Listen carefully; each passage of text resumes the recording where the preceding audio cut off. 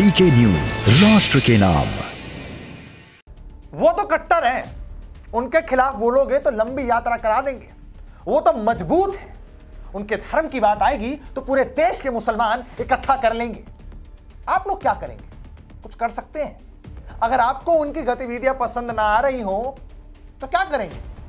क्या आप हर हिंदू को एकता का प्रतीक मानते हैं? क्या जब वो झुंड में आपके पास आएँगे, तब भी आप दलित ठाकुर ब्राह्मण देखोगे?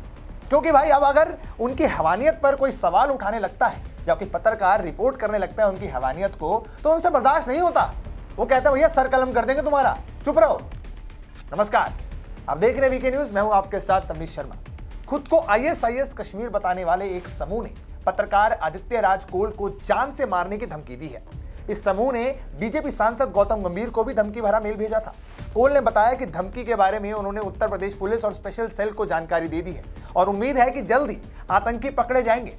कोल ने धमकी भरे मेल के तीन स्क्रीनशॉट ट्विटर पर शेयर किए हैं। इनमें उन्हें स्पष्ट शब्दों में जान से मारने की धमकी मिली है। एक स्क्रीनशॉट में आईएसआईएस कश्मीर ने इस कश्मीरी पंडित पत्रकार को अपना अगला निशाना बताया। जनाब आदित्य, आपने हमारे खिलाफ कुछ ज़्यादा ही लिख दिया है। कुछ दिन बाद आपको हम लंबी यात्रा कराने वाले हैं। आओ कभी श्रीनगर। एक अन्य स्क्रीनशॉट में कहा गया है कि जल्दी हम तुम्हें मार देंगे। साझा किए गए स्क्रीनशॉट में आईएसआईएस कश्मीर ने दावा किया कि कोल के बारे में सभी जानकारियाँ उसके पास हैं। इसमें लिखा है, हमारे पास सभी तरह की डिटेल्स हैं, कहाँ रहते हो और अभी किस जगह पर हो। बस कुछ दिन की बात है और उसके बाद तुम्हारा सर काट देंगे। पत्रकार आदित्य राजकोल कश्मीर में अलगावाद और आतंकवाद के खिलाफ मुखर होकर लिखते रहते थे। शायद यही वजह है कि इस्लामिक चरमपंथियों की उनसे नफरत जो है और ज़्यादा बढ़ गई। हाल ही में कश्मीर में इस्लामिक चरमपंथियों ने नागरिकों को टारगेट किया और उनकी हत्याएँ की।